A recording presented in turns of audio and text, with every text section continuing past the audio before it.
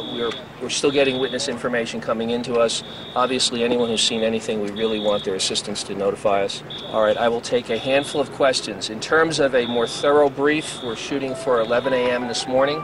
I don't know where we'll do that, probably in, in, in, in an Aurora facility.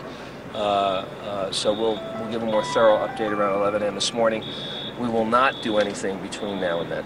Chief, Okay. you said you talked to the the suspect. Did he give any idea of what a motive might be? I, wait, the, the only thing I will tell you is he made a statement to us about explosives in his residence, and we are dealing with that potential threat right now. Beyond that, I have nothing more to say about what he said to us. Chief, can you say anything about a search for a second person? There were a lot of reports there was someone else involved. We have not been able to confirm that. We have no evidence to support that right now, but we are obviously very concerned about that, even the possibility of that, and we are working that angle right now. But as of right now, we have no evidence of a second gun. Chief witnesses were saying that the bomb seemed like a smoke bomb that wasn't necessarily an explosive. Do you know what that was? As I said, what we know is that there was a hissing sound and there was a release of some sort of smoke.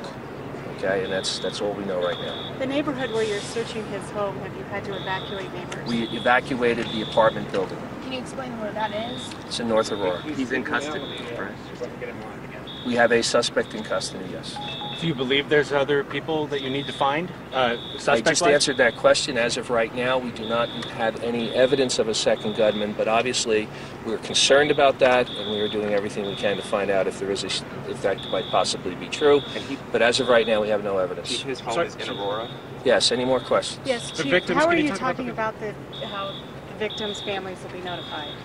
We'll we'll figure that out. Uh, we've mobilized our entire uh, victim services unit and all the detectives we can. We have wonderful support from some of our other agencies and their investigators. And as we sort through this this evening, one of our highest priorities will be dealing with the families of the victims. Chief, can you talk about the ages and sexes of the victims, please? Uh, no, I can't. Uh, Chief witnesses were saying that there seemed to be a police presence immediately as soon as they heard gunfire. Was there anything that they could have known of beforehand to show up sooner? I, I, I can't answer that.